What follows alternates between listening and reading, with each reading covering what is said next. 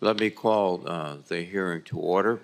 Uh, Just for my colleagues' awareness, so uh, we intend to conclude today's hearing as we did yesterday by 12 o'clock noon due to Senate floor business. And this will require us ending the open session by 11 a.m. and then moving immediately to the closed session SVC 217. As such, I would ask that members adhere to the five-minute rule. I will enforce it. uh, uh, And then uh, I will waive my opening statement, and I, Senator Wicker also has graciously agreed to waive his opening statement. So with that, let me recognize Secretary Granholm for her statement, and then Administrator Ruby. Madam Okay. Secretary. Thank you so much, Mr. Chairman. Um, And um, I'll be quick about my opening statement uh, to try to uh, be in the spirit of uh, moving with alacrity. Uh, Chairman Reed, Ranking Member Wicker, of course, the esteemed members of the committee, honored to be here representing the Department of Energy before you today. Uh, I thank this committee for the strong, consistent, bipartisan support uh, The committee has shown the Department of Energy, the NNSA, uh, on our collective mission. For the past three years, uh, Congress has entrusted DOE with significant resources to build up America's manufacturing capacity, to create jobs, to lead global clean energy markets, and those endeavors are critical to energy security and economic competitiveness in the 21st century. And at the same time, the American people have long counted on the department to meet essential national security missions. The geopolitical shifts around us have made clear that those missions are urgent as ever. The growing cooperation between Russia, China, Iran, North Korea has created a more unstable and less predictable international environment, increased saber rattling, aggression against our allies, and cyber attack threats reinforce the imperative to maintain a safe, secure, and effective nuclear deterrent.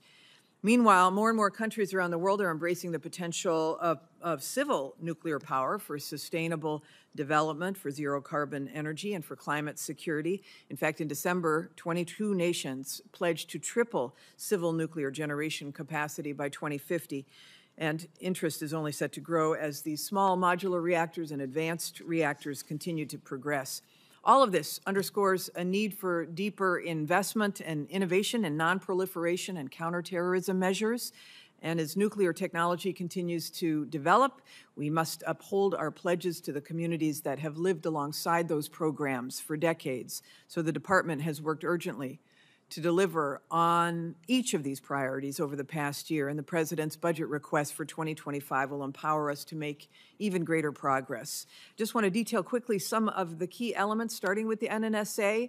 The FY25 budget calls for 25 billion, which is a 3.6% increase over the 24 enacted level. That includes a roughly 4% increase for weapons activities, which will allow us to move more swiftly toward modernizing the nuclear stockpile and restoring production capacity. This request would also empower the NNSA to respond to new threats and opportunities under nuclear nonproliferation and counterterrorism. It will allow us to continue providing the Navy with nuclear propulsion systems while developing the next generation of nuclear powered warships.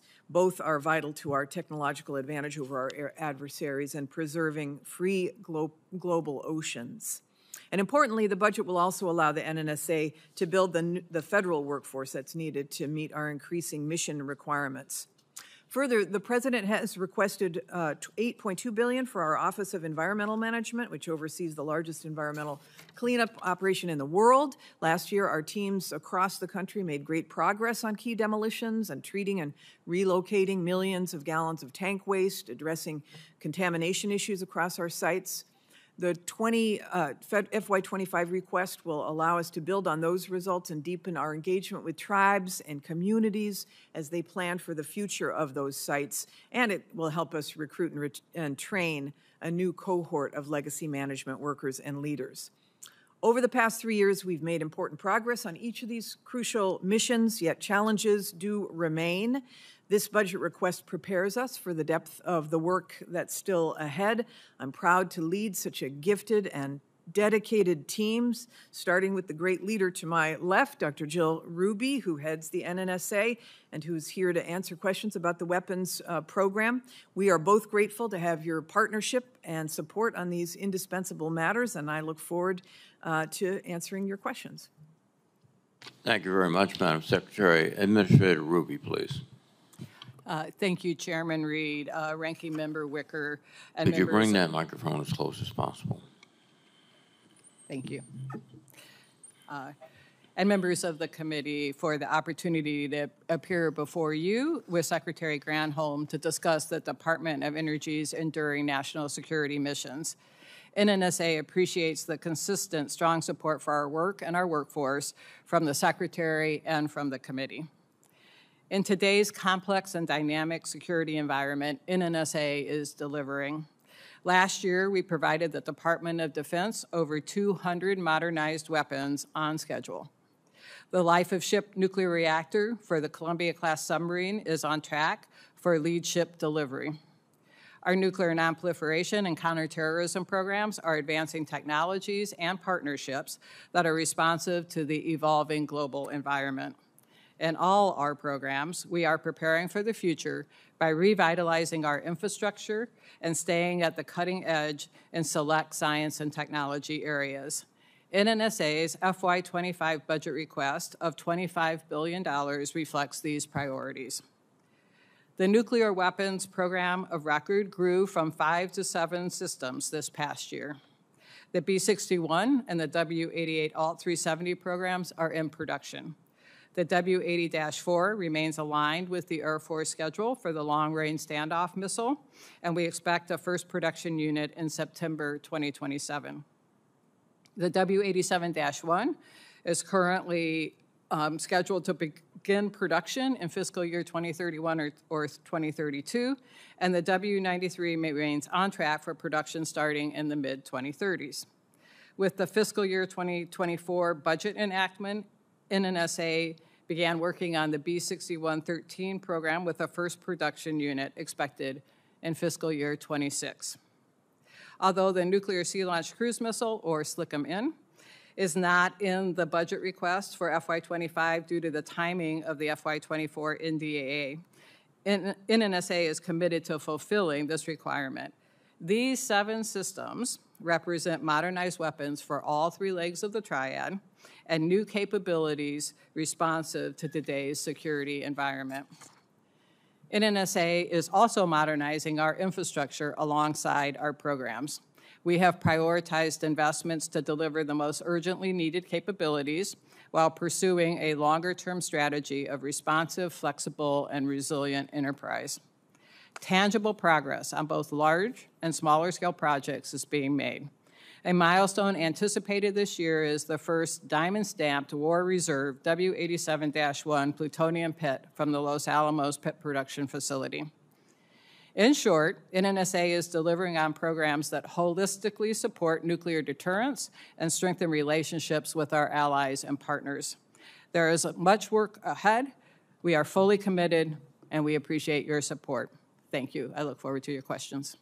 Thank you very much, Administrator Ruby. As I indicated before, my statement and Senator Wicker's statement will be uh, put in the record without objection. Um, Secretary Granholm, uh, the construction programs of the National Nuclear Security Administration and the cleanup programs at the former defense sites have been faced with large increases in cost due to a sh- shortage of skilled workers and especially materials. You, like everybody else, have been caught up in the post-pandemic uh, supply disruption. Um, What we're seeing now, however, is uh, the effects of uh, the last several years seem to be spreading to the workforce, where um, there's indications that uh, people are leaving faster than normal retirement suggests. And now, last year, as you know, we provided uh, special authorities for the department to hire engineers and scientists. Uh, Can you fill us in on how serious this problem is and if you need additional help? Yes, uh, thank you for the question, and thank you for the uh, ability to use that flexibility. Um, 400 additional accepted service hiring positions allowed us to be much more flexible. We've been focusing on bringing aboard the additional 500 federal employees over the last two years that we've been able to hire, but unfortunately, um, double-digit attrition has eaten up those, those gains. And that is largely due, as I'm sure you can imagine, uh, to incredible competition from the private sector and salaries from the private sector, remote work that the private sector is able to offer that we are not able to, but also because the employees feel, um, many employees have uh, uh, reported that they feel overworked because of the loss of uh, fellow employees. So so to answer your question, yes, support for what we have requested uh, in our in our budget, which is the full federal salaries and expenses appropriation request of 564 million in FY25 would be uh, most uh, welcome um, because the appropriations for NNSA uh, as measured by enacted appropriations, have really, uh, the, the national security program has really doubled in size. We've not been uh, able to keep up uh, in terms of hiring. And uh, the STEM workers are obviously very special and very uh, well educated. We've got to do everything we can to keep the greatest minds in the federal government. And so the ability to hire and through, as evidence through support for that appropriation would be much appreciated. Uh, Do you do, do you need additional support in that uh, uh, ex- exemption from uh, government rules? You're good right now, right? Yeah, we appreciate what you've done uh, uh, to date, and when we, if we get a budget appropriated, uh, we also have made changes to our hiring practices to lean forward more, so we're hopeful we can help solve this uh, shortage. And uh, Director Ruby, um, many of your production facilities date from 1940s and 1950s. um, And you're still relying on, for example, uh, for the production of depleted uranium, uh, World War II era rolling mill. What, and more importantly, when will you bring modern production capabilities and methods into your complex to save time and money? Yeah, uh, th- thank you, Senator Reed. Uh, Our production facilities are, in fact, uh, very old, and we're making uh, great strides in replacing them. Uh, But we have a lot of work to do. And I want to talk about, um, in particular, modernizing our capabilities and not just our uh, infrastructure. Uh, I'm sure we'll get lots of questions on infrastructure, but this issue of what our, our production capabilities are is really important because any change we make in a manufacturing process changes the microstructure of materials. And we need to make sure that that's okay through our science programs. But we have some great examples.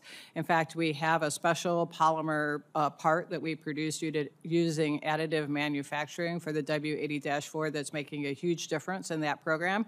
Uh, we have a current pilot project for new manufacturing technologies for radiation cases, which is a collaboration between our design and production um, agencies. Uh, we've asked our uh, advisory committee uh, to look at, it's called the Advisory Committee for Nuclear Security, to study materials and manufacturing and look for other places that we can make changes in our processes and our materials.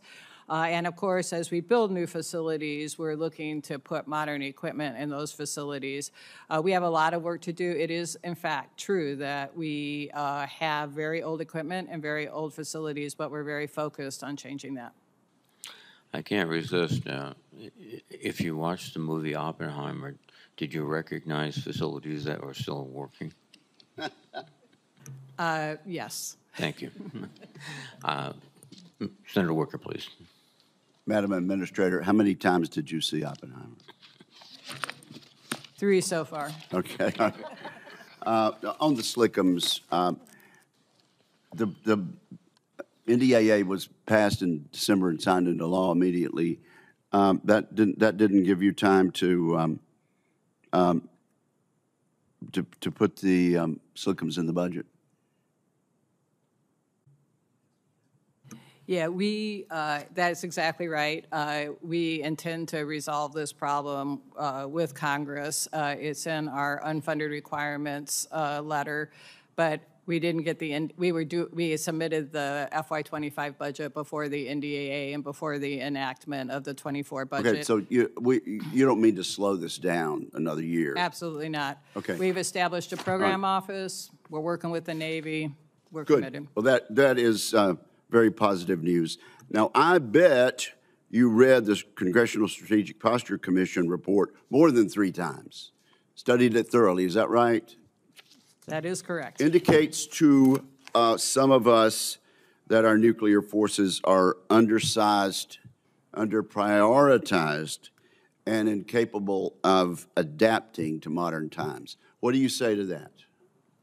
Undersized, right? Well, I, I believe that the Strategic Posture Commission report is right um, on the, the fact that we have to prepare for two near peer adversaries or two peer adversaries, and we need to do it with a sense of urgency. Uh, and uh, and we uh, we've taken steps already. In Un- fact, Undersized right now. Uh, Seriously. What, the, what the report said, and I think this is important, is we need more and/or different kinds, and I agree with that. I don't think just more is going to solve the problem. Uh, So I think it's the combination of those two things. Uh, What about incapable of adapting to modern threats? We, uh, there's lots of evidence that we're slow to adapt to modern threats, uh, but I think we're proving we're capable, uh, and we're making some changes now. Uh, To do that, I think the insertion of the two programs within the program of record in the last eight months uh, shows that we're able to, we're able to do some adaptation. But we do need a stronger industrial base, and we need a stronger government base in the NNSA to enable us to do more as we go forward.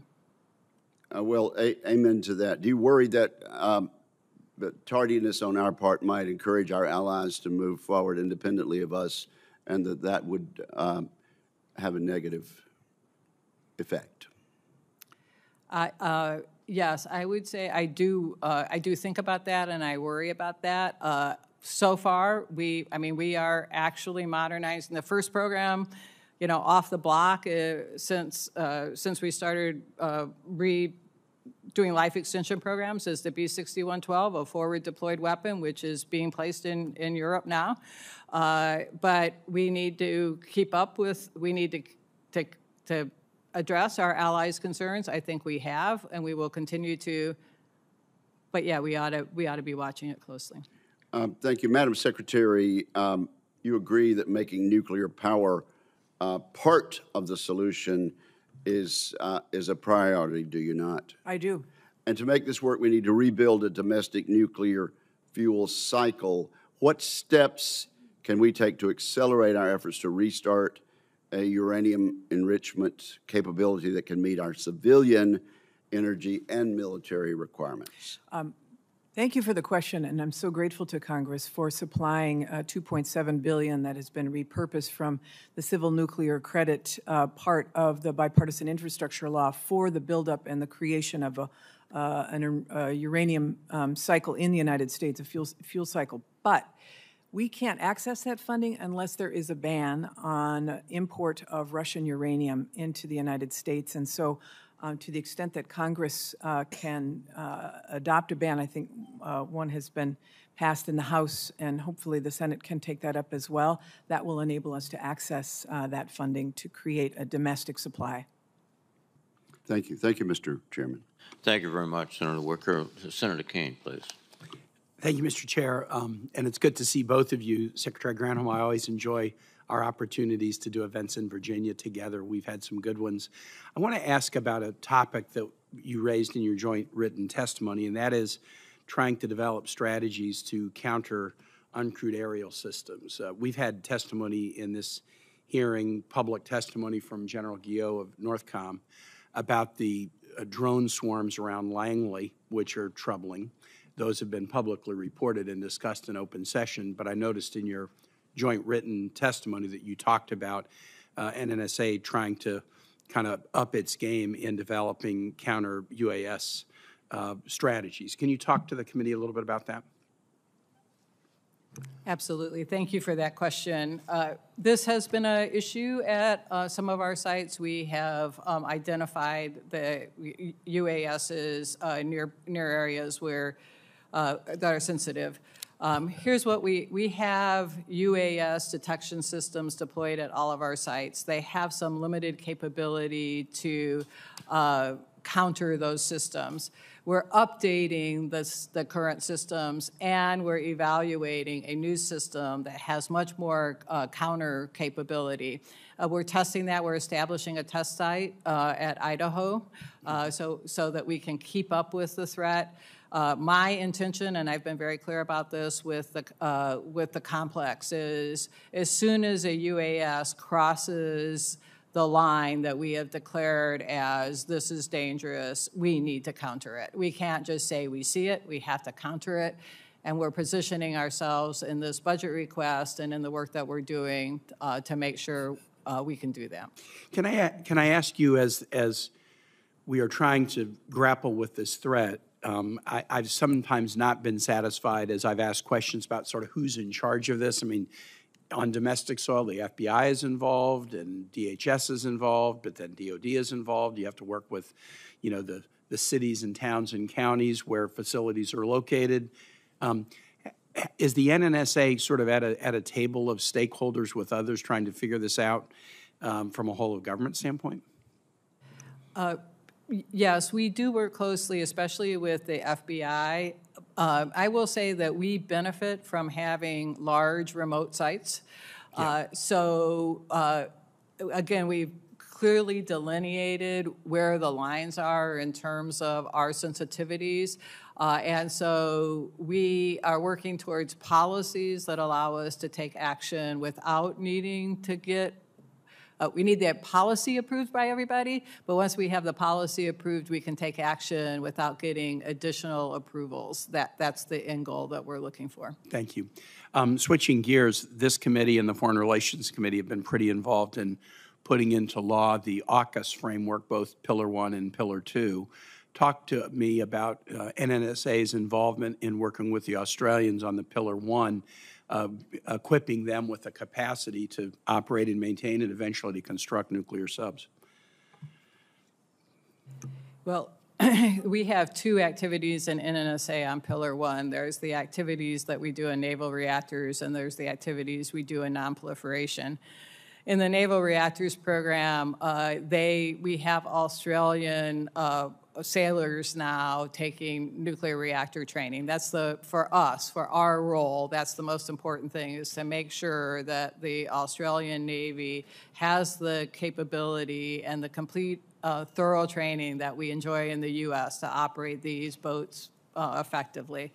On the nonproliferation side, our goal is to have this be a model program for nonproliferation. Uh, we have lots of work with the Australians to help them understand what that is uh, and to work with the IAEA to create systems to make sure that there could be absolutely no diversion. We're going to we're going to deliver sealed nuclear reactors that power these boats. Uh, but still, we will need to uh, make sure there's no material diversion, no potential for uh, any material being uh, stolen um, in any way. And the, uh, we feel very confident that the Australians are taking this seriously and are working very closely with us. Excellent. Well, I don't want to exceed my time after having been warned by the chair that we're going to try to move quickly. But Secretary Granholm, I'm going to ask you a question for the record. Last year, you talked about some initiatives the Department of Energy is doing to find uh, talent at HBCUs and minority-serving institutions and partnership you're creating. I'll ask for the record, and we'll look forward to seeing uh, uh, what is the progress on that front. Thank you. I yield back. Thank you, Senator Kaine. Senator Fischer, please. Thank you, Chairman Reed, and thank you, Ranking Member Wicker.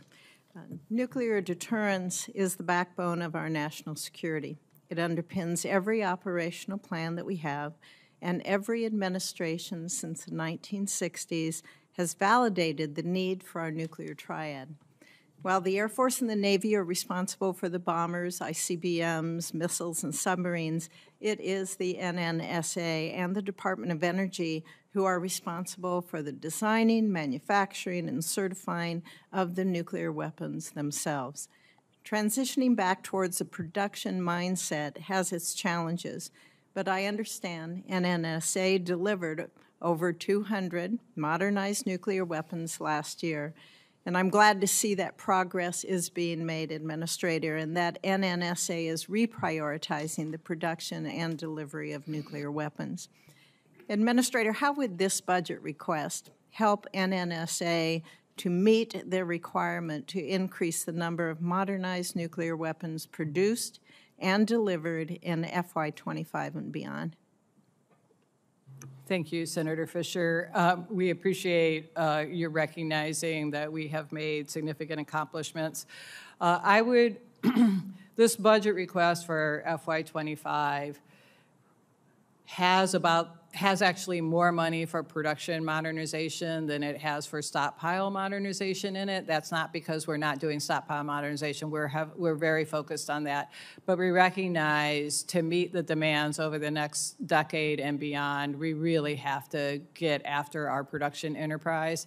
And in particular, a lot of the emphasis is on making sure we can bring up pit production at both Los Alamos and Savannah River complete the uranium processing facility, and other high priorities uh, in, in the system. So uh, I think that the most important thing that NNSA can do to secure the future for, for the nuclear enterprise is to develop success like we are in modernizing weapons and then modernize our infrastructure when we visited before this hearing, um, we talked about balancing those seven modernization programs and how we really can't afford any further delays on any of those.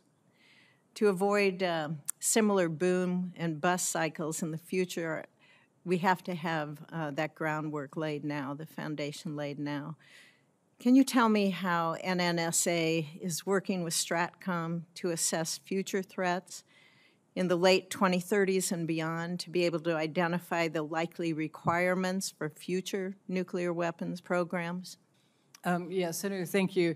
This is one of the things I'm very proud to say that we've made a, a significant working with General Cotton we have agreed that we really need to define those needs beyond the mid-2030s, which is where the program of record today, we've got seven things going on between now and the mid-2030s, but we have, we know we have needs beyond that. And we've reestablished a process that had gone, that used to exist, it had gone quiet, uh, to have STRATCOM uh, staff who understand and think about deterrence needs on a daily basis, to work with our staff who think about and understand capabilities on a daily basis, to work together more closely on, uh, to meet regularly, to define, hey, what is the gap and what's the best way to fill it that will exist in the tw- late 2030s and 2040s.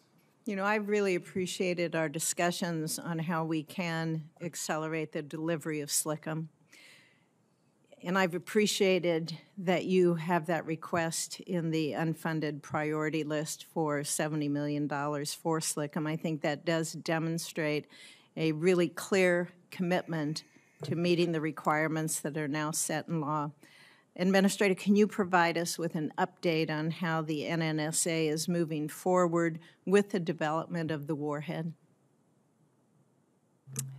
Yes. Uh, what our, our we are looking, working very closely with the Navy as they define their delivery platform to define the warhead that will match well to that. Our objective, because we're trying to do this in in the program of record, we're trying to you know squeeze it between some programs that we are already working on, is to find the most effective and simplest way that won't disrupt the rest of the program of record to meet the requirements for SLCM-N. So we're looking at the W80-4 as was in the authorizing language. We're also looking at other options that might, uh, that might, we don't know yet, uh, be simpler to do in terms of disrupting our current production flow. Thank you. Thank you, Mr. Chairman. Thank you very much, Senator Fischer. Senator Manchin, please. Thank you, Mr. Chairman, and thank you both for your service and for being here. I appreciate very much. And Senator Granholm, uh, Granholm uh, blessed us yesterday with her presence, and we had a good meeting, except for a little interruption. But other than that, was good. Uh, But I want to thank you all. I've been a long supporter and- and a fan of nuclear, and basically with nuclear uh, propulsion has been used in nuclear, in weapons, but mostly in propulsion for our uh, military fleet, Department of Defense, and how we've done such a safety record for many, many, many, many years.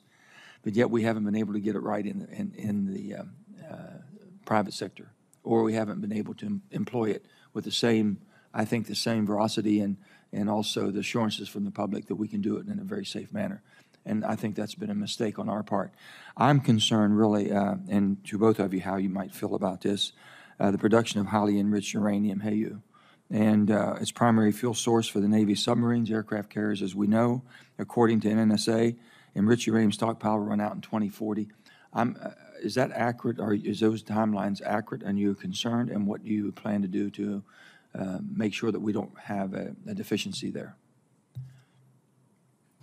Uh, Thank you, Senator Manchin. Uh, uh, Let's see, we have uh, two needs in NNSA for enriched uranium. We have the need for low enriched uranium to make tritium. That is the, that is a focus for the 2040s. And we have a need for highly enriched uranium for uh, naval reactors and weapons, which is, uh, uh, which is out out beyond the 2040s timeframe. Uh, We do not have the capability to uh, enrich uh, uranium for defense purposes in, in the U.S. today. Let me, Uh, let me- I, for a little bit of history, and it might help us all a little bit of history here. Why did we allow ourselves to get in a situation that we were dependent upon Russia, or we went to that? It Was after the Cold War? I've heard different scenarios. In the Cold War, then we're trying to all just kind of work work together. But why did we believe? Was it basically from an environmental standpoint, or do we have a lot of uh, advocates who were opposed to nuclear, and we thought, well, out of sight, out of mind, we'll go somewhere else and get it. Didn't want to produce it here, enrich it. What was the purpose? What was the problem? Well, I think there are a couple uh, issues. So with respect to defense needs, we have a lot, and we had a lot. We had, you know, we had a stockpile of 30,000 weapons. Um, In the nuclear weapon stockpile, highly enriched uranium doesn't get used, so it stays highly enriched. It has a very long lifetime. So we felt there was plenty of highly enriched uranium that could be used, and in fact, even downblended to low enriched uranium to use for other purposes. And that's what we've been doing now for many decades. In the civil sector, of course, it's a different issue, which is uh, a a cost competition and uh, environmental issues. It, it was hard to create a steady base for civil nuclear uh, in, uh, uh, LEU. But on the on the on the defense side, we have been using our stockpile of HEU from weapons, and it's just now as we plan out that we feel like we cannot continue to do that forever, and that we need to think about reestablishing these capabilities. And Senator Granholm, if I may ask you on this from the administration standpoint, uh, and where you all stand, DOE, are you all concerned about our ability to get back into production or be able to do it in a sufficient way that the public will support it, but also know the needs that we have for defense of our country? I- I think we can definitely do it, and um, we're grateful for Congress's support on creating a, uh, a a uranium strategy inside the United States by repurposing some of the civil nuclear credit to get $2.7 billion to create our own fuel cycle here. Um, However, as I was mentioning to Senator uh, Wicker earlier, the only way that we can access that funds is if Congress passes a ban on the import of Russian uranium, and we're hopeful Trying, that we're trying very hard. very good. That's great. I will say one other thing on the civil side. Um, the high assay low enriched uranium, of course, is necessary for the small modular reactors and the advanced reactors, and that's a very important part of our cycle and our strategy to be able to have more nuclear power in addition to My what final question would be along those lines. With the onslaught, uh, basically, and we have the development of SMRs and micros uh, to be coming into the workforce, if you will, into the production of the uh, uh, private sector. Is, is that taken into consideration by 2040? We're running in a depletion or basically in a need? Or it be accelerated like 2030 maybe or We, 2035? we need to accelerate. We need, there's no doubt. There's a that the concern, but I mean, development is of that the these- number we're using 2040, does that take in consideration what we're talking about here? Um, I think that's mostly on the defense side. It is. Yeah, and on the civilian side, I mean, these reactors are being developed right now. the Very, very advanced- quickly, rapidly. And they are, im- they will, they have access to Russian HALEU, and we need that capability here, which is why we have to act with urgency. Okay. Thank you, Mr. Chairman. Uh, Thank you, Senator Manchin. Senator Ernst. Thank you very much, Mr. Chair, and thank you both for being here today to testify in front of the committee. And uh, Secretary Granholm, we'll start with you. Um, Secretary Granholm, should taxpayer dollars be granted to U.S. sanctioned countries or institutions? Yes or no? You mean through the, by, through the Through DOE? DOE. No. Okay, thank you. Um, because as you know, the Department of Energy d- distributes billions of dollars in grants and awards. And in February, a magazine published a research article acknowledging support from a taxpayer funded DOE award. The same article credits an Iranian researcher employed by Iran's state linked Sharif University of Technology. U.S. authorities have sanctioned multiple Sharif University entities due to their ties to Iran's nuclear program. Britain and EU have also sanctioned the university due to similar concerns. So, Secretary Granholm, did taxpayer dollars in this grant support the Iranian researcher? I'm not familiar with this grant, but perhaps you can share the article and I can follow up. We will definitely do that, um, and, and thank you for that response. Um, We will share that because this is of great concern to us. Um, The reports are cause for concern, um, no matter how those grants are distributed, uh, because Iran builds up their nuclear, as they're building up their nuclear arsenal, we must be absolutely certain that taxpayer dollars are not funding a researcher working for a university linked to Iran's nuclear program. Uh, we just witnessed, of course, Iran attack our ally, Israel, and their proxies have taken American service members' lives. Um, at Tower 22, um, here within the last several months, we lost three American service members, uh, members of the 718th Engineer Company of, of uh, Georgia. They were U.S. Army reserves. They were, their lives were lost at the hands of Iranian proxies. Um, so the capabilities cannot even remotely be strengthened uh, by American taxpayer dollars. And so those answers will matter. So Secretary Granholm will provide you with that information and we'll expect a response back. you. Thank you, Secretary. And uh, kind of on that same theme, then, um, do you know what safeguards the department has in place to ensure that our Department of Energy funded American researchers do not share sensitive information about technology with academics working for a sanctioned university uh, located from adversaries? We have a very robust uh, counterintelligence uh, strategy inside of the department, which is um, looking both at lab research, partnerships, et cetera, to ensure that we are securing American IP, that we are not uh, endangering, obviously, uh, by releasing certainly any sensitive uh, information from our from the defense side of our operation. We've also set up a whole strategy inside the department for vetting requests coming in from those who, from companies who might want to access DOE grants or loans. It's a research uh, technology and um, uh, economic security effort that's similar to CFIUS uh, inside the department. We've beefed up our efforts on that to ensure that we are being extra cautious on both uh, making sure that we are not uh, take, that we are not partnering with entities that um, will create a problem for the United States, but also that we are viewing those who, with, with whom we are working to ensure that uh, sensitive information is not going in the wrong direction. Thank you. I appreciate that. We have seen other departments that have, through contracts and subcontracts, sent dollars overseas uh, to other entities. It- all we have to do is look at uh, the COVID 19 issue that we had and how American taxpayer dollars were funneled to China.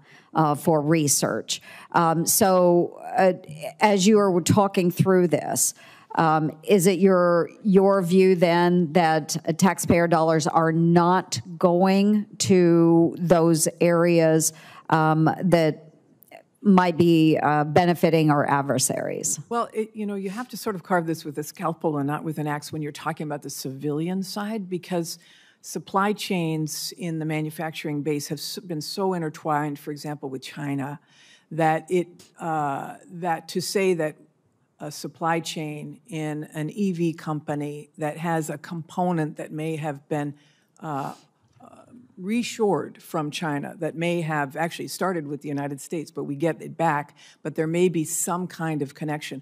What we want to do is to mitigate the, the potential damage to the U.S. We do want to reshore, obviously, um, IP and companies that were sucked overseas with intentional um, industrial strategy by other countries to be able to get that. So we try to really balance what is going to be in the interests of America and security uh, to ensure that both taxpayer dollars are spent for that in a way that will serve American interests. That's very important. Thank you, Secretary, and, and thank you so much for the time, um, Mr. Chair. I do think it's important that we acknowledge that we need to bring that supply chain back to the United States of America, but especially sensitive research, we need to ensure that no taxpayer dollars are going to entities that we would consider adversaries. Thank you, Secretary. Thank you, Senator Ernst. Uh, Senator Rosen, please.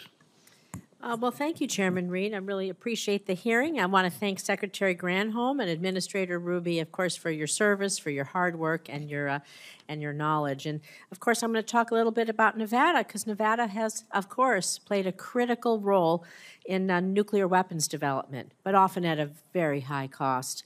From 1951 to 1992, 928 nuclear weapons were actually detonated in Nevada. It's causing people and land to be exposed to toxic levels of radiation. And it's why I firmly oppose any policies that would put Nevadans at risk again, from returning to the days of explosive testing, nuclear testing, uh, oh, to the shipping of nuclear waste to be stored at Yucca Mountain and a dangerous, at Yucca Mountain, it's a dangerous and misguided proposal that some of our colleagues in the House, well, they just raised it again last week. That's one of the reasons why, of course, I strongly support the mission of the Nevada National Security Site, which verifies the reliability and the effectiveness of our nuclear stockpile through advanced scientific experiments and modeling so that nuclear weapons will never have to be tested again. So, to, to both of you, um, as you know, mining and construction continue at the Principal Underground Laboratory for Subcritical Experimentation, or PULSE, formerly known as the uh, U1A complex. And this expansion is going to allow the lab to house two machines that will uh, improve our ability to assess performance, safety, and reliability of our nuclear stockpile. So, uh, Secretary, can you provide us an update and then uh, Administrator on the project and speak to some of the other key projects uh, currently underway at the site, please? Great, thanks. I think I'm going to defer the question to Okay. um, the Perfect. administrator since she's got her finger on the pulse of all All of this. righty, thank you. Uh, Thanks, Senator Rosen. Uh, We enjoy a great relationship with you and the, the state of Nevada, and we're, um, we're grateful for the work that's being uh, done there.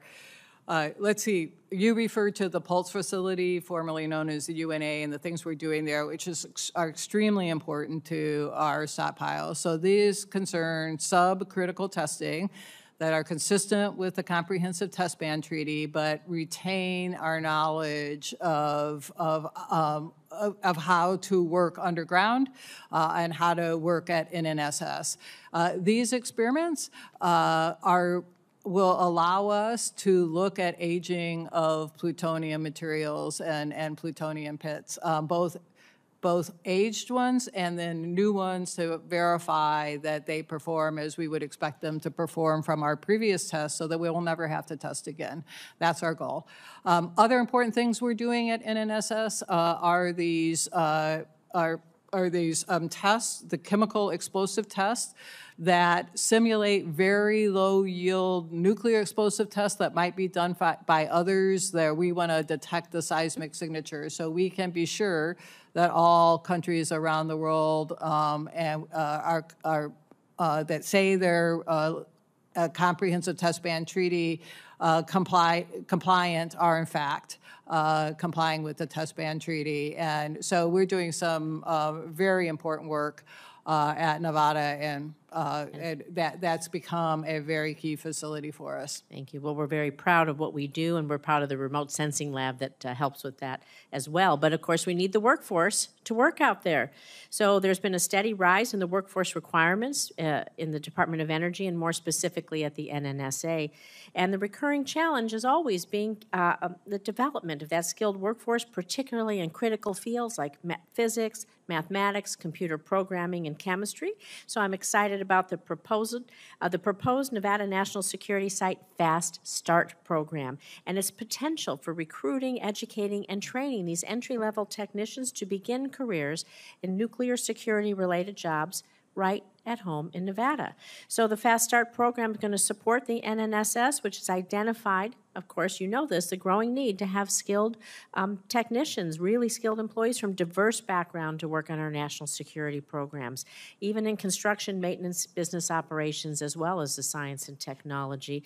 So, Administrator, given these dynamics, um, how is the Department of Energy, and of course, Secretary, you can answer too, and the NSA actively engaging with our academic institutions uh, to grow the future workforce? And can you talk about um, Fast Start program and uh, how our local students might begin careers uh, working at the Nevada National Security Site, or we still call it the test site, Nevada? Yeah, we try to call experiments now. That's a, it's an important distinction. So I, uh, but here's uh, here's what we do. We we we work um, intensely on our pipeline. We have uh, university programs that are for recruiting. We have university programs that are for research. Both are great pipeline programs for us, and we've extended those to programs for technologists and for craft workers and others that we need desperately in our complex as well to be very highly skilled workers. Uh, and what we do is we identify um, skills that are needed across the complex, and we have national programs for that. And we have uh, we identify skills that are needed locally, and we have local programs for that that we support. And uh, and the the program, the FAST program in Nevada, is one where it is aimed to support the needs of that site locally where people tend to we, we tend to recruit people from the region we like to keep them in the region and that program is aimed to do just that so thank you for your nice words about it Thank you. Can, can I just jump Yes, on that? yes. Because of course, once we recruit, uh, once we recruit and train, we don't want to lose them. Right. And so we, uh, we were just discussing a little bit earlier, and I just want to foot stomp the need for um, NNSA and the whole scientific enterprise of the United States, which so much of which is embedded in the De- Department of Energy, to have the ability to compete with the private sector um, by ensuring that we've got decent work conditions, not overloaded uh, folks, the ability to pay uh, what they are worth, uh, et cetera. So the support that this uh, committee can offer to our appropriations request to hire additional people so that we don't have burnout and attrition uh, before retirement would be greatly appreciated. Thank you. Thank you so much. Thank you, Senator Rosen. Senator Scott, please. Thank you, Chair. Uh, Thank you all for being here. Secretary Granholm, um, the Biden administration announced uh, that they were going to um, pause pending LNG export projects, which seems like the stupidest decision I can imagine. So in my state, we export LNG. Um, We have through our ports. We put a lot of money when I was governor into our ports. We export it. And so if you look around the world, they want our LNG. We've got a war going on in Europe. We don't want people dependent on Russia. Uh, so we're exporting to Europe, we're exporting to Asia, right? The people, the bad, the bad guys are the ones that produce the oil, a lot of them, Russia, Iran, right? So if we don't do the exports, right? So where do our allies buy it? They have to buy more from Russia, they have to buy more from Iran, okay? So Iran's invaded Ukraine, Iran is trying to destroy Israel. So this makes, it, one, economically, it hurts my state. But number two, from a from the standpoint of what's going on in the world, this is the stupidest decision ever. So can you explain it to me? Yeah, just to uh, clarify a point, this is a pause, it is not a halt. Why would and we all- pause? So Stop. that we can This- evaluate, uh, as we do and are required to do, what is in the public interest. We do a study every few years, right now is when we're doing this study, to determine whether the enormous increase Russia in pause Ukraine? authorizations. Did Russia pause going into Ukraine? Has Iran paused? All of the um, current exports are still happening. All of the current authorizations, which goes up to 48 billion cubic feet, are all proceeding. Did you pause The- new pending export pending, projects? But Yes. everything that is, we are currently the largest exporter of liquefied natural gas, and we will remain Did the largest exporter Yes. of critic, of liquefied natural gas. First off- It is a temporary pause. Do you- do you so understand what you're doing to our allies? The impacts. Secretary, We've wait, talked with our down. allies. What are you doing to our allies? Okay. We've talked with our allies about this. They are, they have very well understand that this is a temporary pause while we do an analysis of what the impacts what would, are what would you, in the what would the analysis States. be? What, I mean, what do you have to now? I'm uh, happy to tell you. Stop and think about it just a second. me- we, the world is at war. They need our energy. And they will And you're continue to get telling- it, sir. You're telling them, no, we're going to slow it down. No, that's not what we're telling them. That's what a pause means. No, a pause means on future, future approvals. We have so much approved that we are well saturating the globe if those authorizations are built out. We have 14 billion cubic feet of capacity right now. That makes us the largest in the world what- right what now. would you have to Another study? 12 billion cubic feet that are under construction. What do you have to study? None of that is stopping. Wait, It wait, is what do you have only to a study? pause for a study Okay, what do you have to will be completed in months. Okay, what do you have to study? Okay. what's there to study? There are we four want to do. We want to sell. There are four L- things we're studying. To be Pardon? able to answer your question, there are four things we're studying. One is, what is the impact domestically on our manufacturers if we export almost half of our capacity for producing natural gas? What is the co- what's the impact in terms of cost? Number one. Number two, what is the impact, the life cycle analysis on the export of LNG. Number three, what is the impact on our allies overseas? What is the demand we're going to be seeing to make sure that they are well supplied and that they have the energy that they need? Um, and You heard any manufacturer call you and say, "Gosh, I'm worried because we're selling LNG overseas." Um, There is, a, there are a lot of domestic uh, concerns. In fact, we've gotten letters on both sides of the aisle here about what does it mean for costs at home if you export almost half of what you currently produce? What is the impact from a supply and demand point? It's a question, and that's, we're You think only we should doing, export nothing? we're going, I mean, no, you- I'm, should we do that I'm with all of everything we export? as we, as we uh, authorize massive amounts of exports, we need to know what is the impact on America, on our American With that manufacturers, analysis- on our homeowners, what is the cost? Secretary, with that analysis, you think we ought to put pauses on exporting anything else we manufacture in this country? The reason why we're doing this is because there's been such an extraordinary increase in authorizations. When we did our last study, we were only exporting 4 billion cubic feet.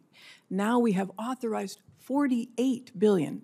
Not all of that will be built, but the point is, we need to go eyes open to see what is the impact on us at home as well as on our allies, and to have our labs do a, a modeling to make sure that we uh, follow the science and understand what the impacts are before we start to approve a whole bunch more. So if you were head of commerce, then you would start, ex- you'd start pausing exports of manufacturing goods because you think, man, that's going to cause the cost of manufacturing goods for Americans to go up. That makes, it makes zero sense, and it's having dramatic impact on my state. So I think you made a a horrible decision, and I hope you'll change. Thank you, Senator Scott. Senator Peters, please. Thank you, Mr. Chairman. Secretary Granholm, good to uh, see you uh, again. Uh, to see you, Administrator uh, Hruby, uh, welcome uh, to the, the committee. Uh, My first question is, uh, is to both of you. Uh, As you uh, both are well aware, the availability of low-cost drones has uh, dramatically increased the risk of weaponizing uh, unmanned aerial systems being used uh, against uh, our uh, critical uh, infrastructure. This threat uh, is unfortunately particularly acute at our national laboratories, plants and installations responsible for both maintaining as well as sustaining our nuclear stockpile. So my question for, for both of you, I understand you have been working to mitigate threats by drones and UAS to our nuclear infrastructure. And as these risks uh, continue to evolve, what uh, enhanced uh, authorities do you need to protect uh, that uh, critical infrastructure? Mr. Hruby, we'll start with you. Okay, thank you, Senator. Uh, We, we do already deploy UAS detection and counter UAS systems, but they're not good enough for the future threats that we're already beginning to see. So we're upgrading those. And we're upgrading also, so we want to upgrade our systems, especially the, to help us counter threats uh, that are evolving. In addition, we're looking at our policies and we're creating a new test range. So the test range will be in Idaho, uh, where we can make sure that we fully understand the systems to counter UASs and we can train people to do that. And then we're updating our policies that will be, will we'll get a look across the interagency in the U.S., and there are a lot of people who have impact on policy. But that we will change, we are trying to change our policy so that our protective forces, as they detect UASs that cross a line to the things that we are really trying to guard, our crown jewels, if you will, that they can counter those systems without additional approvals. Great. Secretary Granholm? Very good. Uh, Since uh, the the beginning of uh, the unprovoked uh, invasion by Russia, uh, Russia has uh, targeted Ukrainians' uh, ener- energy infrastructure, including its uh, nuclear uh, power plants. Uh, And in the process, they've deprived millions of Ukrainians uh, of heat uh, as well as electricity. Uh, In response, uh, DOE and NNSA have assisted our Ukrainian partners in stabilizing uh, their energy markets and safeguarding their nuclear infrastructure. So my question uh, for both of you is, how has DOE and and NNSA support allowed the Ukrainians to continue uh, their resistance against Russia? And do your organizations have the resources that you need to continue these efforts, specifically in support of Ukraine's nuclear power plants? Thank you for this question and for recognizing that we are um, partners with Ukraine in trying to preserve and rebuild uh, their their energy infrastructure. Um, NNSA, and, and I'm sure um, Dr. Hruby can say a word about this, has been uh, an incredible partner in providing, for example, um, radiation uh, detection technology uh, training on that. Um, the Department of Energy has also identified where the gaps are in their electricity system, for example, uh, transformers, et cetera. What do you need? And we have delivered um, scores, uh, hundreds of components that we have actually um, gotten donated from either around the United States or our allies so that their grid can be rebuilt. Um, we are f- also focused on uh, war-proofing the existing grid and the future grid as well. So, what are the ways to harden the existing grid? We have worked with them on connecting their grid to the EU. So, ENTSO-E is now connected to the EU and not reliant upon Russia. But clearly, we also have to um, pursue um, President Zelensky's goal of being much, having a much more distributed and clean energy system, which is less vulnerable to attacks. And so planning for that future is part of what we are engaged in now. Uh, hopefully, you know, this conflict gets resolved uh, in Ukraine's favor soon, but we want to be partners with them in building the grid of the future there as well. Great, thank you. And just let me say a few words about the nuclear side. So we have uh, installed, since the start of this conflict, many radiological and nuclear detectors uh, in Ukraine and the surrounding areas to make sure that we can detect as soon as possible independently uh, any radiological or nuclear release from an incident at a nuclear power plant or any other kind of incident. Uh, and, and we've spent a lot of time training our Ukrainian colleagues so that the, in the event of an incident, they would have uh, uh, a, a proper uh, and effective response, public health response to that incident. Right, thank you. Thank you to both of you. Thank you, Mr. Chairman. Thank you, Senator Peters. Senator Tuberville, please. Uh, Thank you, Mr. Chairman. Uh, Thanks both for being here. In Alabama, we, uh, we're fifth largest producer of nuclear with uh, two nuclear plants and five nuclear reactors. Uh, I know a lot of people in the, in uh, our neck of the woods are, are very concerned about our power grid in the future. Um, Just a quick question about building new nuclear plants. The Endangered Species Act and the National Environmental Policy Act you know, if, if we're looking to build a nuclear, nuclear plant, uh, just the review is lasting four to seven years. Uh, which should probably take about one to two years. And if we're going to combat China, if we're going to build a new power grid, uh, Secretary, uh, do you see the average timeline to complete these environmental studies as normal? Uh, and how, how can we go around this? Well, I'm not sure about normal, but Yeah. I do agree with you. You're the, at least what I assume you're getting at, which is that we need to speed up times for permitting, uh, both nuclear as well as transmission, as well as other energy generation, including clean energy. How do we get bogged down in this? I mean, it just doesn't make any sense to me because we're getting, we're getting overrun, uh, you know, by other countries.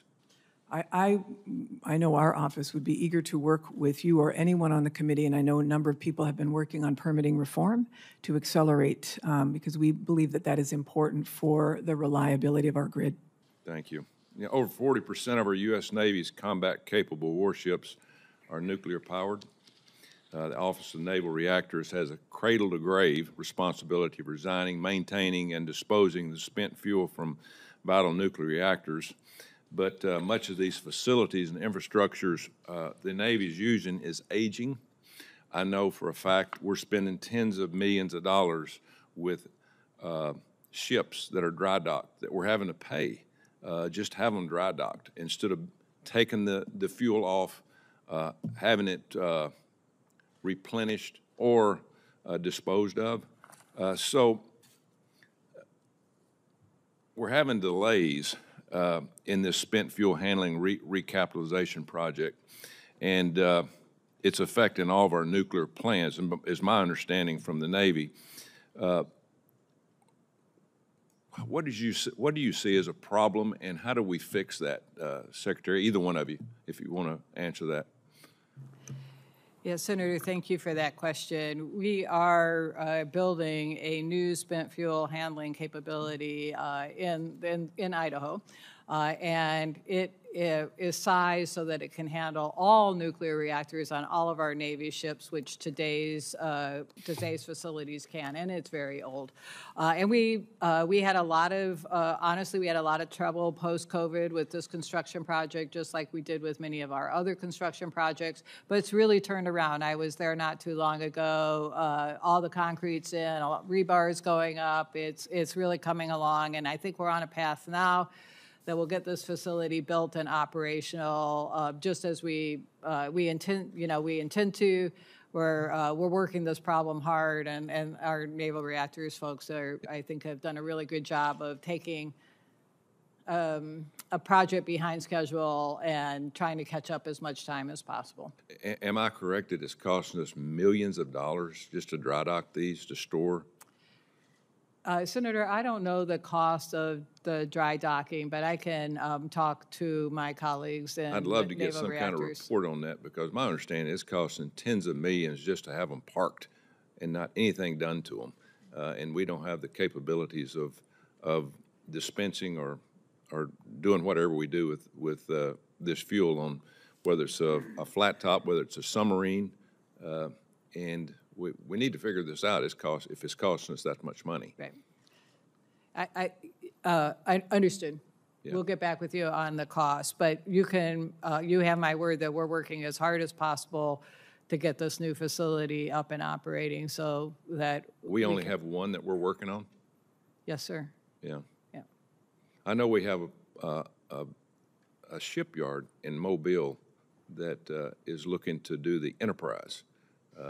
In the very near future, hopefully that happens, but you can imagine how old the Enterprise is, how long it's been sitting, dry docking, and the money that it's cost the country and the taxpayers uh, for, you know, to be just sitting there nothing done with it, so.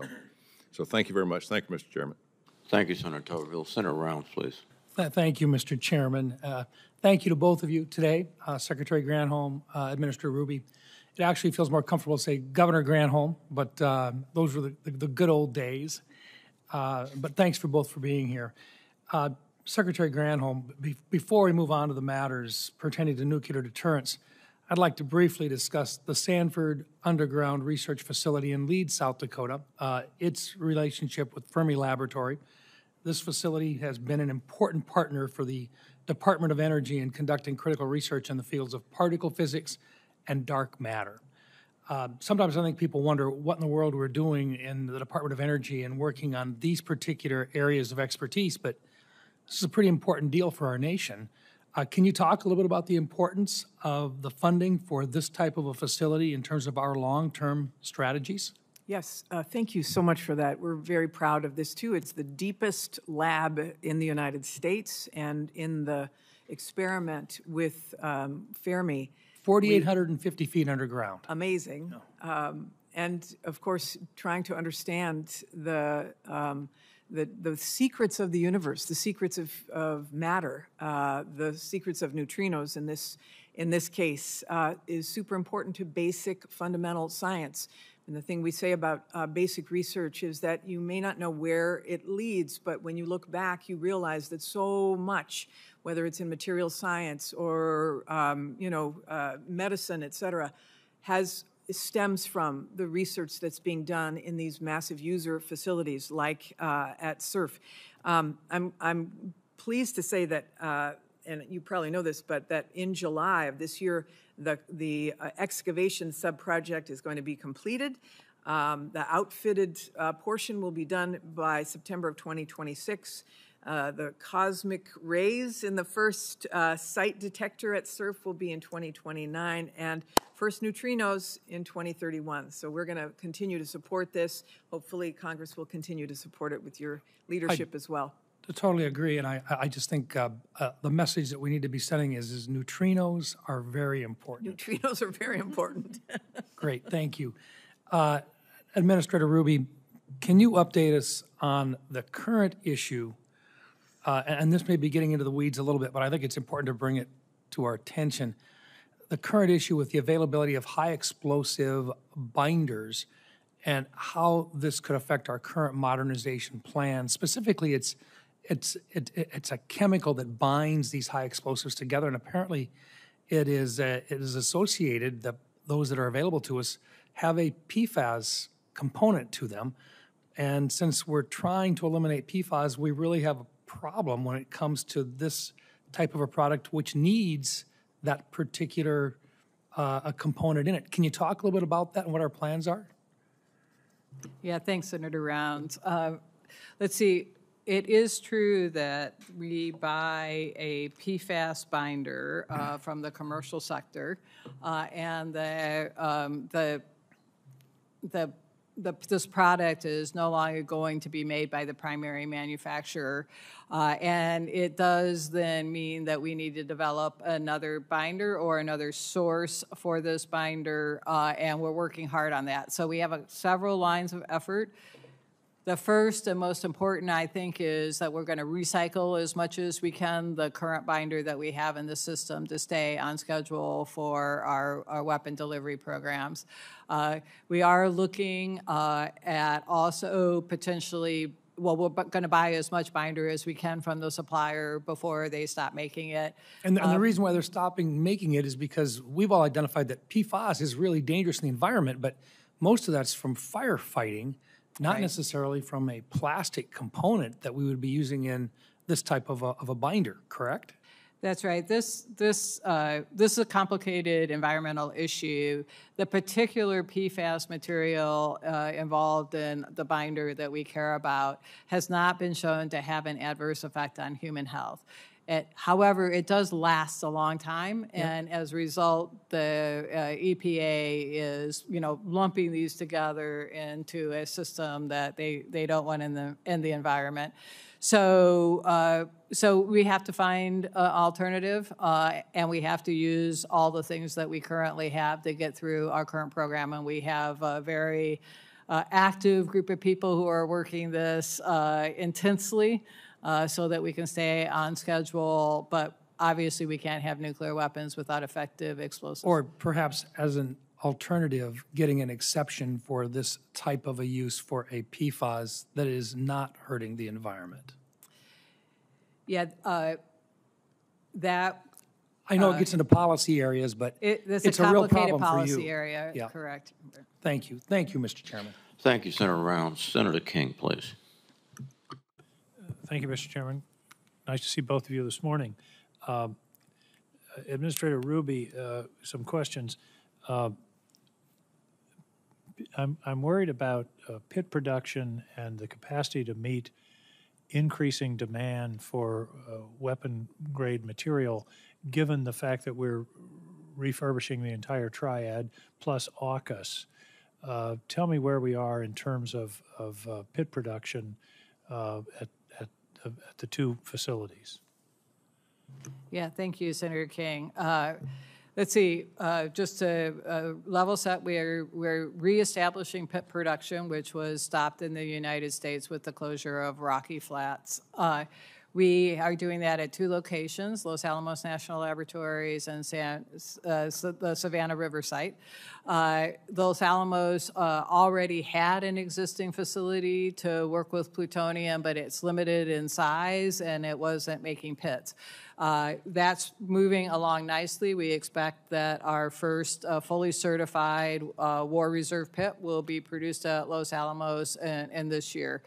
Uh, And then we're working towards a goal of 30 pits per year at Los Alamos. Those pits are, uh, will be in the W87-1 warhead, uh, which is, uh, is for the Sentinel.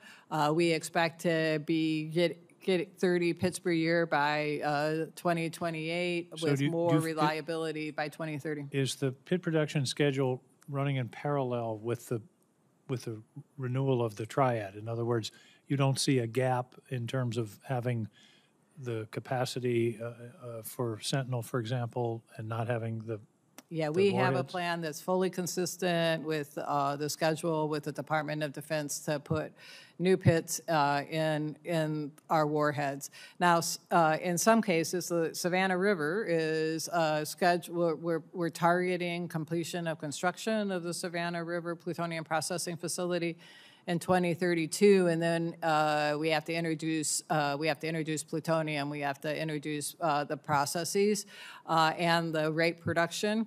That'll take a few more years, but our plan is to be able to produce uh, pits for the new W93 warhead, uh, and we're targeting at least half of that population. We don't, we, we don't think we can get that facility up in time to do all of the W93 builds, but it's important that we have a fair number of those uh, new pits because our option is to uh, reuse pits, which introduces some uncertainty, but more importantly, we just, uh, it it limits, uh, it limits what else we can do in our stockpile uh, when we uh, reuse those so, pits. so you, do you feel we're, we're on a reasonable, predictable schedule at Savannah River? Are you confident that we've, that the contractor and, and the plans are moving forward uh, adequately? I, I'm increasingly confident. We, you know, we have a lot of work in front of us, uh, but we, I, I feel much better uh, about where we are. I think we've turned the corner in terms of uh, what we're doing at Savannah River.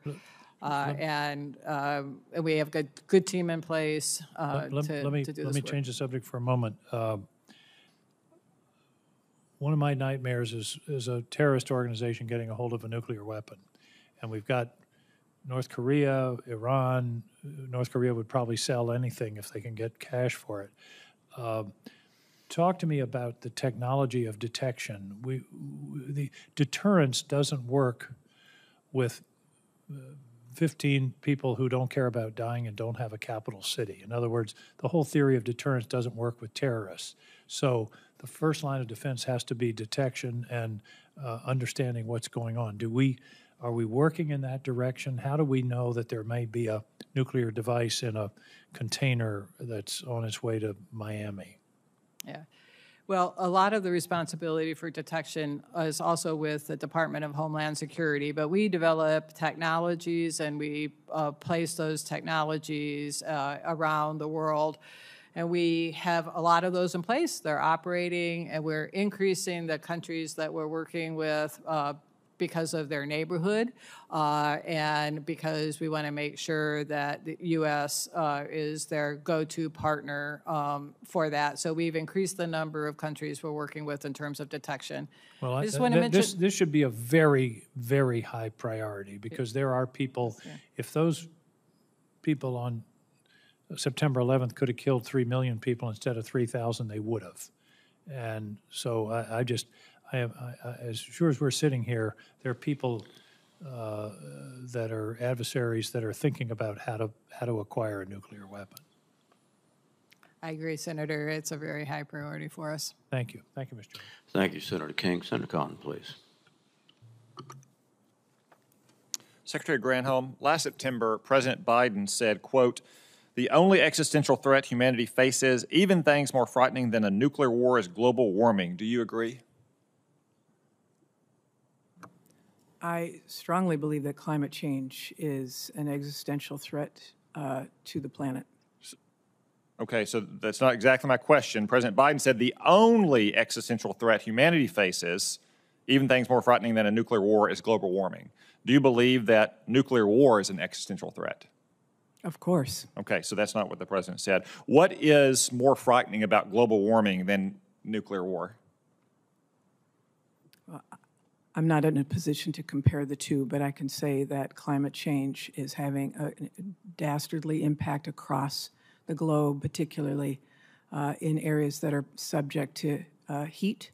We've had record heat years now, uh, consecutively, do- year after year, But- which has But, Ms. Secretary, do you impact. agree, do- sounds like you, you don't agree with the president that global warming is more frightening than nuclear war? I am not in a position to characterize what the president was saying. I'm just saying that it is Okay. an existential threat. So, as the Secretary of Energy, your most important job is our nation's stockpile of nuclear weapons, which is the backbone of our entire national defense. Every military operations by the Department of Defense is underwritten by that strategic deterrent. But last year, you testified that ensuring we have enough lithium for electric vehicle batter- batteries is more urgent than ensuring the nation's stockpile for nuclear we- that nuclear weapons are adequate. Do, do you still believe that our lithium supply, as important as that is, and I grant you, is more important than the nation's nuclear weapon stockpile?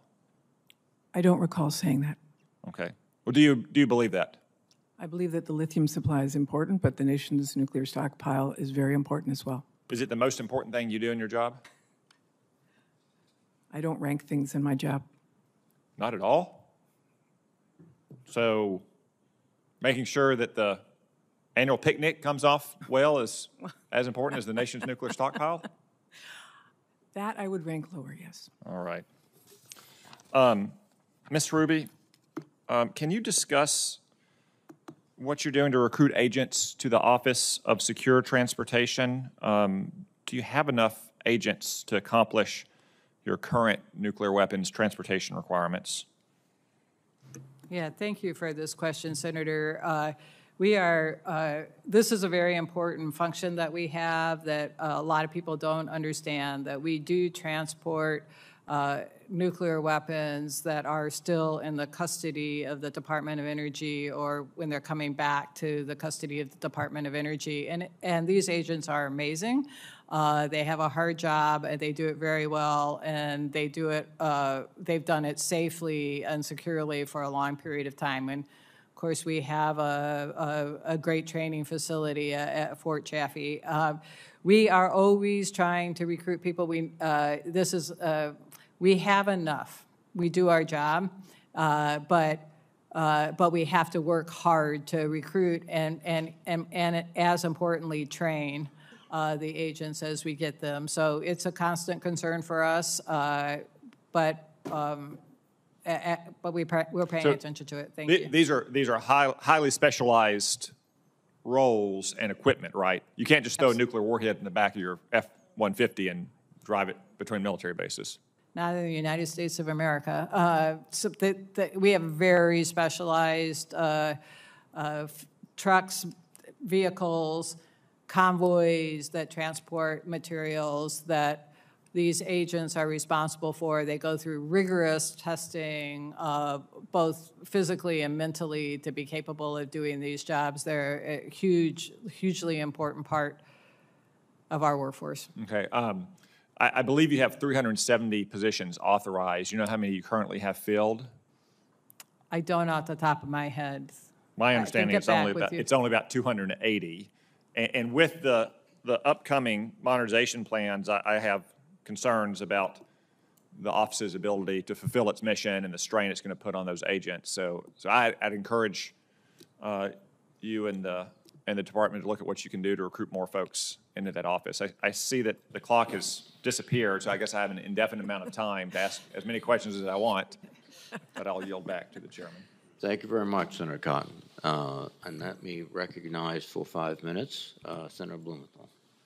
Thank you, Mr. Chairman. Uh, Thank you both for being here today and for your very extensive public service.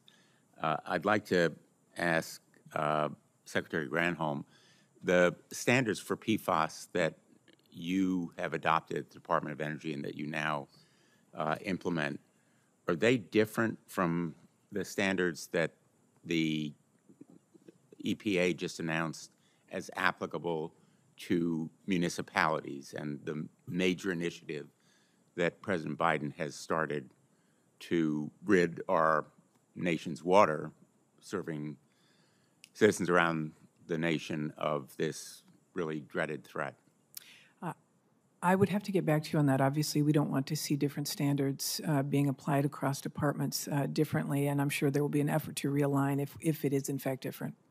Yeah, I think it's important that the standards be uniform uh, because, uh, and I frankly don't know the answer to that question Well, myself. EPA sets this, so we would follow their lead. Great. Uh, Mr. uh, Administrator Hruby, uh, I'm concerned about, uh, I know you've been asked about, I think by Senator Kaine, about AUKUS and uh, the nuclear reactor program there. Uh, But I'm concerned about whether, from your perspective, the uh, naval reactors are on track to support the AUKUS commitments that we have made to production delivery of the Virginia class boats over the next 10 to 15 years relating to Australia. Do you think that program is on track? Yeah, the Naval Reactors Organization has worked very hard to um, evaluate the options that we provided to the Australians to support, and I'm confident with the, the, pro- the proposed plan that our Naval Reactors Organization can support that. That is separate, naval reactors are separate from shipbuilding, so I, I really just speaking to, will we be able to provide the naval reactors needed for the AUKUS deal, and, and I'm confident that we can. Um, I, I want to ask uh, you and maybe Secretary Granholm on the issue of security for the reactor facilities in Ukraine and the danger that is posed by the Russian aggression there. Have, have you, uh, do you know whether there is money in the supplemental that is specifically allocated to nuclear safety in Ukraine? Yeah, our request in the supplemental for NNSA, Department of Energy, is $149 million. uh, And uh, we, we very much hope that we get that.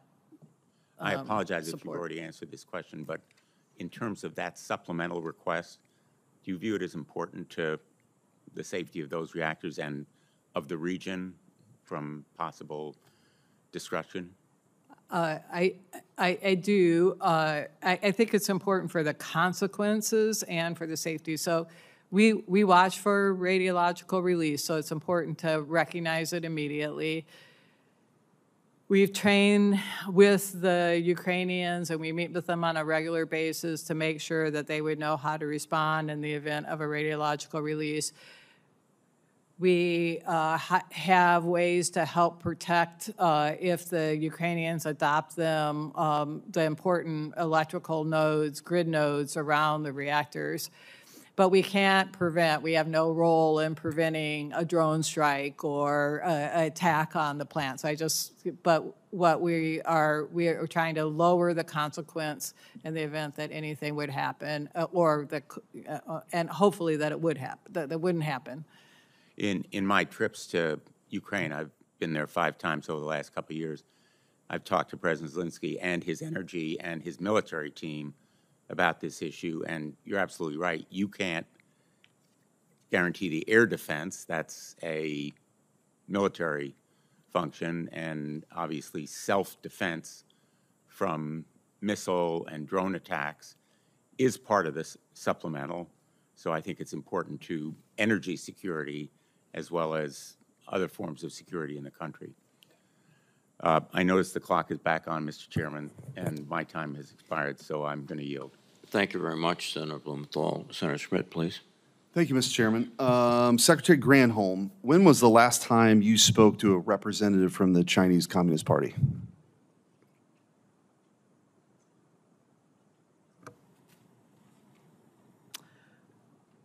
I spoke with um, a member of the Chinese delegation at the APEC conference last summer.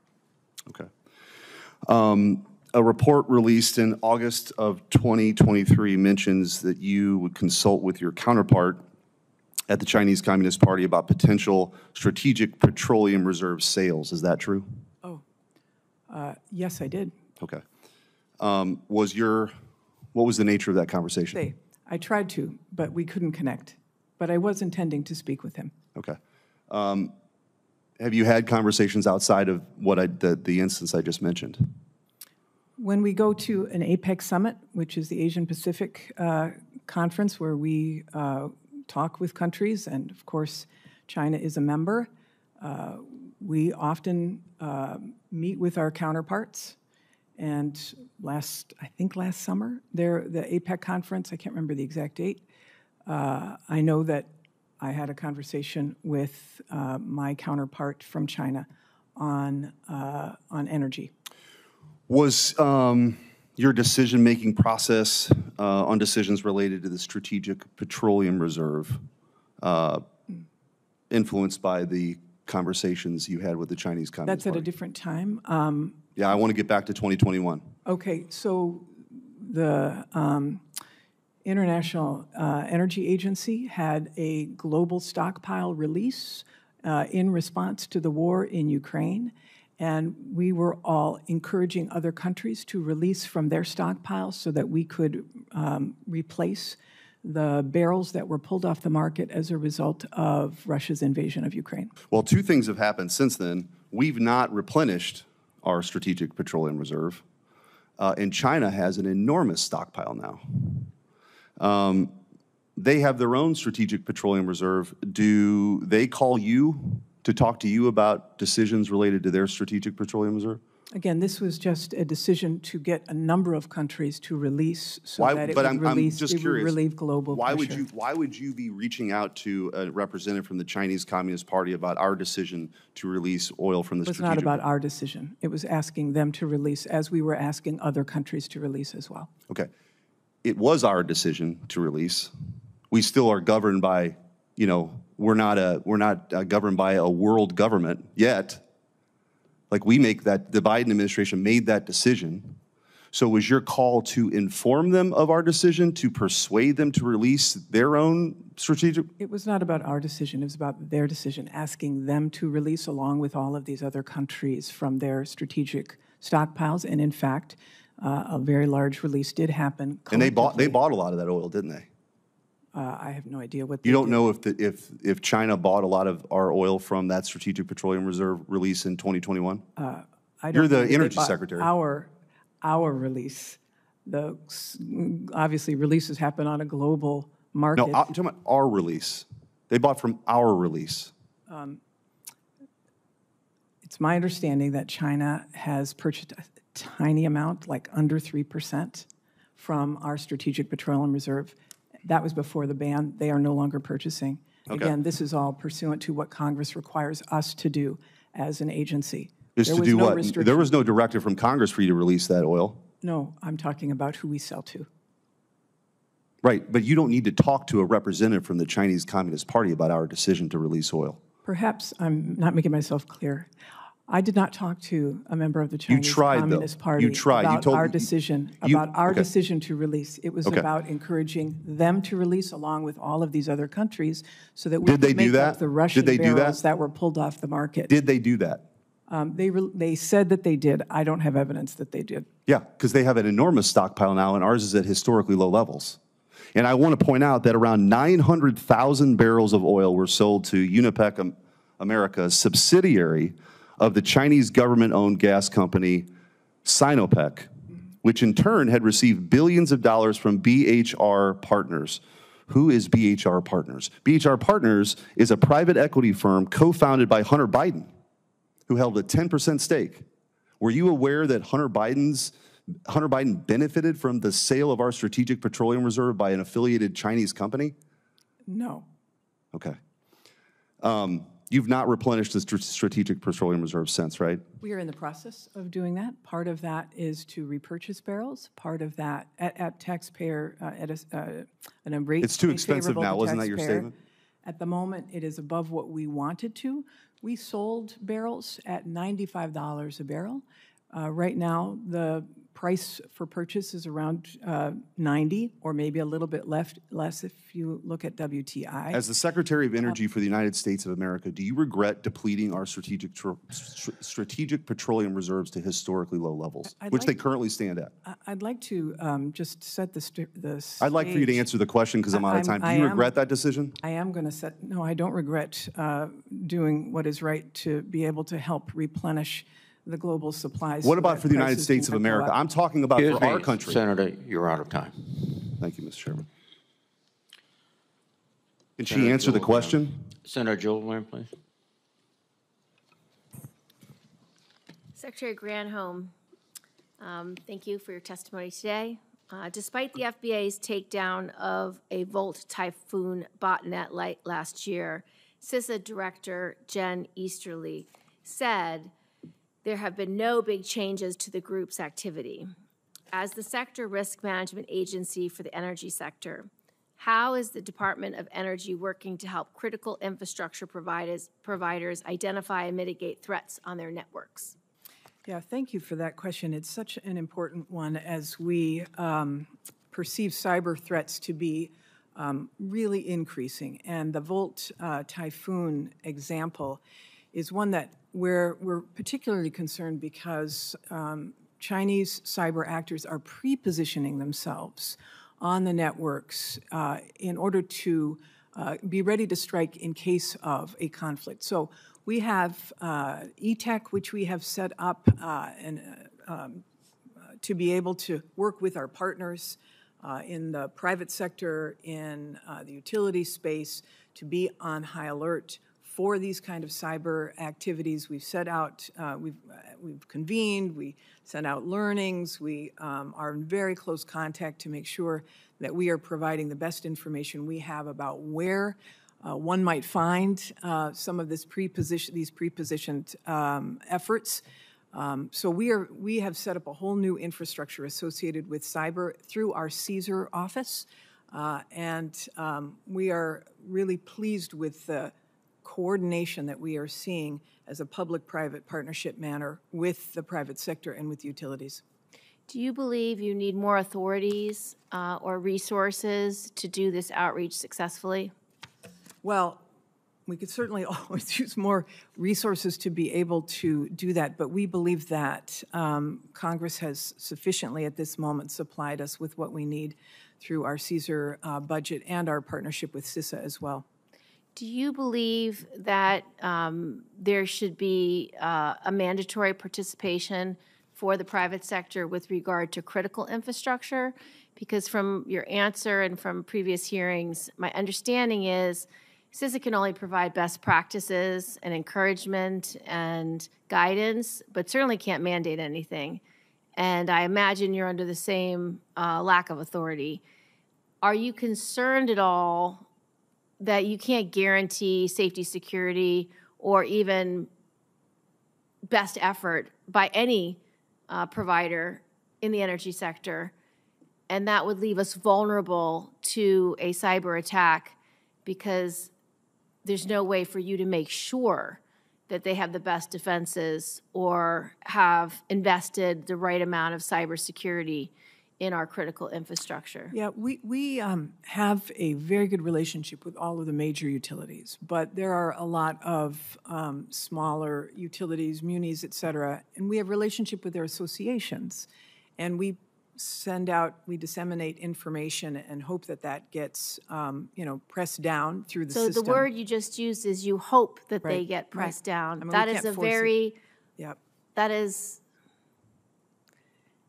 that is a very uh, inadequate frame, and I'm very concerned about it.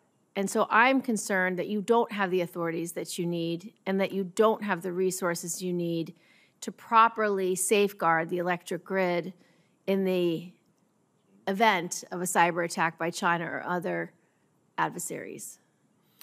Uh, Well, mandating would certainly strengthen that. Correct. Um, Can you tell us, uh, in this setting, uh, about the cyber attack on the electric grid in Guam? And can you tell us uh, about what you would have done differently or what authorities, if you had, could have been implemented? Because this is the Armed Services Committee. We want to make sure our warfighters have the capacity to defend this nation in the event of attack and to project our power. And without an electric grid at a base of operations that's owned by the private sector, uh, we can't do our job. So I'd like any thoughts or comments you have on that. Yeah, And I would uh, respectfully request that I get back to you on that so that I can have a fulsome response for you. That would be helpful. Um, last, do you have any recommendations about what kind of authorities, or can you, for the record, create some recommendations about what kind of authorities would be useful for you if you were given the task of making sure our electric grid does not go down in a cyber attack by China or any other adversary? And here too, I would love to get back to you on this, on some specifics uh, Recommendations. authority-wise that I could consult with CESER to see how we might additionally strengthen um, and the resources that it might take to do that. Thank you very much, Madam Secretary. Thank you, Senator Gillibrand. Uh, Senator Kelly, please. Thank you, Mr. Chairman, and Secretary Granholm and Director Hruby, thank you for being here today. Uh, Director Hruby, I'd like to ask you two related questions regarding the development of uh, new nuclear warheads. I think this is something that's already been addressed um, in the committee today, but um, so the uh, National Nuclear Security Administration is developing the W-80-4 warhead for the uh, long-range standoff uh, munition, LRSO. You've also been tasked to develop the uh, variant, the uh, W-80-4 alternate uh, for the submarine-launched cruise missile. And I understand the administration has been reluctant to start the development of a nuclear-armed cruise missile for Navy submarines. I was on uh, board the USS Indiana under the ice um, just about uh, six weeks ago or so, and uh, we discussed some of the challenges, um, both from an engineering and an operational standpoint uh, for them. Uh, the Secretary of the Navy has been rather vocal in his opposition to this. However, the Undersecretary of Defense for Acquisition and Sustainment has issued an acquis- acquisition decision memorandum directing the Navy to establish the program and requesting NNSA support for the warhead development. Director Hruby, your administration has a lot on its plate right now. You currently have five warhead modernization programs underway and now a potential sixth with the uh, N. In an open hearing, um, which we're in today, can you comment on how much extra burden the development of a W-80-4 alternate warhead puts on your workforce and budget? Yeah, thank you, Senator Kelly. Uh, We uh, did, uh, obviously, there was NDAA language on SLCM uh, in, and there was an appropriation in '24. So uh, we are working hard on SLCM in, uh, in concert with the Navy. Uh, And we're looking at um, W-80-4 and potentially other warheads uh, that will be least disruptive to the program of record and do the job that we need to do uh, consistent with the Navy's selected platform when, when that's done. So we've established a program office. We're, uh, we're going to work on uh, how to do this so that it will fit in and not disrupt the program of record as best as we can, looking at all options, again, in close coordination with the Navy. Do you uh, prioritize these programs, like uh, Absolutely. for infrastructure and, and uh, workforce? Uh, uh, Well, infrastructure, uh, there's, we have to, we prioritize a lot of things simultaneously. Uh, The situation we're in is we're uh, uh, modernizing warheads while we uh, modernize our infrastructure side by side, in some cases in the same building. Uh, And uh, we worry about it every day, we concentrate on it every day, we're making progress, but it is, it's not an ideal situation, but we are certainly committed to doing it, and it's, and, and, and showing progress. Do you have, do you have pits going in new warheads today? Uh, No, we, the first, the first new pit that will go into warheads is the W87-1, which is for the Sentinel uh, ICBM. It's the system after the long-range standoff system, uh, but we are on schedule to make pits for that. And then the following weapon, the W93, also needs new pits, and uh, so When do you, when do you believe, a- a- a- if it's not, uh, if we can say it here in an open hearing, when, when a pit goes into a Sentinel missile? Uh, Our, we're scheduled, well, it it depends on the schedule of the, right now for the W87-1, uh, will be, Martin, the 20, 20, yeah, 20, 2031 or 32 is the first production unit for that system. Um, Those should have new uh, pits in them. And when will that, and where will that be? Where does that work take place? The pits will be produced at Los Alamos. Okay. The assembly will be done at Pantex in Texas. Okay.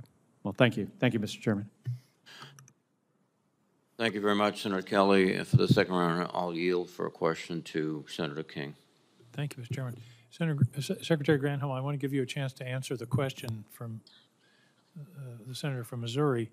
Why was the, why were we working on a worldwide effort to release oil from strategic petroleum reserves uh, after the invasion of Ukraine?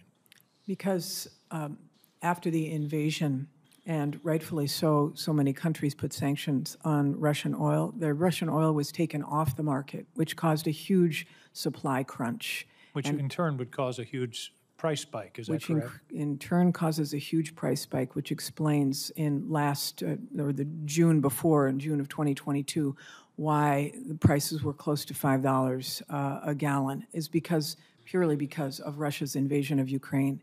It was happening across the world, uh, and everyone, uh, at least at the uh, um, International Energy Agency, wanted to see if people who had, countries that had stockpiles could release. So this was what the Strategic Petroleum Reserve was for, was to release at a time when there was a worldwide crisis in energy supply in some way in order to stabilize the market. Is that correct? Precisely.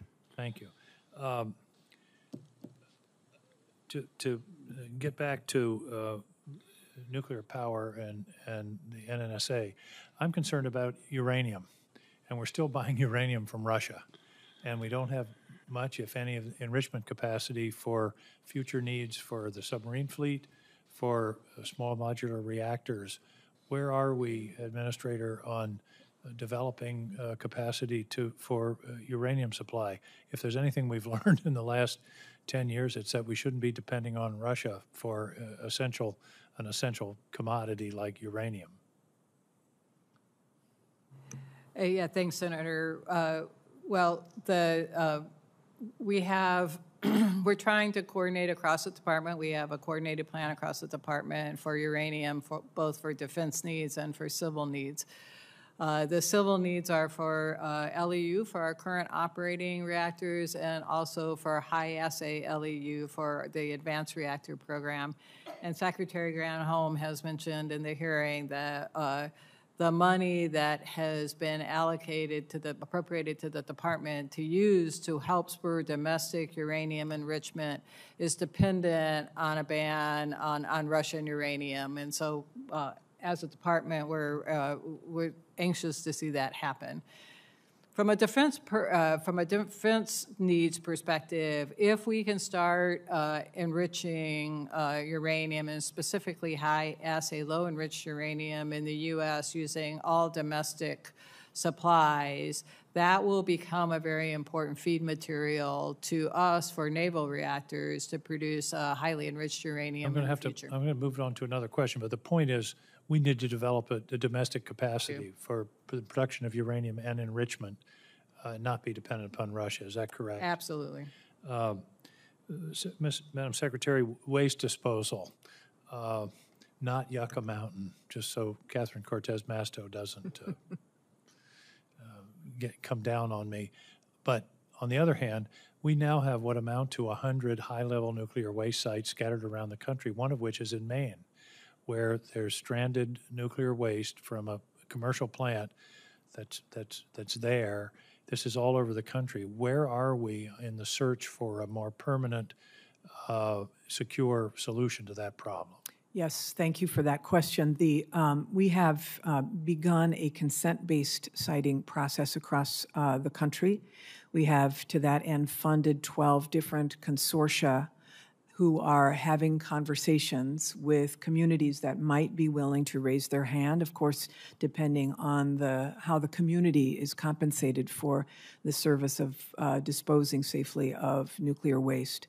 So there's three phases to it. We are in the first phase. Uh, the second phase will be identifying actually and talking to the volunteers. The first phase is sort of laying the groundwork, and the third phase is actually beginning um, the storage process. So, This so that process is actively underway. actively underway right now. Thank you. Thank you, Senator King. Uh, Senator Gillibrand, uh, I'll yield for one question. Thank you, Mr. Chairman. Um, Secretary Granholm, I want to thank you for visiting the Brookhaven National Lab on Long Island, where our new electron ion collider is being constructed. I think these national labs are playing such an important role um, for our national security. And I want to um, invite you to perhaps come see at the University of Rochester's Laboratory for Laser Energy the work they're doing there for the National Nuclear Security Administration's inertial confinement fusion program. Um, it, w- it has already helped achieve major fusion ignition breakthroughs uh, December 2022. As DOE builds off of that historic milestone and continues to work towards a future powered in part by fusion energy, what role do you see labs like Rochester's Laboratory for Laser Energetics, as well as the Brookhaven National Lab, are playing in your vision uh, for our Department of Energy, but also for our nation's security? Yeah, thank you for that. We have obviously a bold decadal vision to achieve commercial fusion within 10 years. Um, the fusion uh, strategy that's being um, deployed at Rochester is with lasers. Obviously, there's others, magnets. Uh, the uh, Los Alamos uh, National, excuse me, not Los Alamos, uh, Lawrence uh, Livermore National Lab is the lab, um, obviously, that did achieve uh, ignition in December 22 and has achieved ignition multiple times after that. By the way, thanks for the partnership. Those these partnerships are critical. The tools are critical. These user facilities are absolutely fundamental. The Electron Ion Collider is so exciting. It's the first collider that will be built in the next 10 to 20 years globally uh, to be able to determine what is uh, in inside of a proton uh, and how you can um, collide and spin and create perhaps and understand the you know the strongest force in uh, in physics and so it's very exciting what is happening in New York and thanks to uh, New York State for actually having contributed $100 million to that electron ion collider as well. Thank you, Senator Gillibrand. Um, Madam Secretary, thank you. Uh, Madam Administrator, thank you for your testimony. Uh, we will adjourn the open hearing and reconvene uh, as close to 11 a.m. as we can uh, in SVC 217. Thank you very much.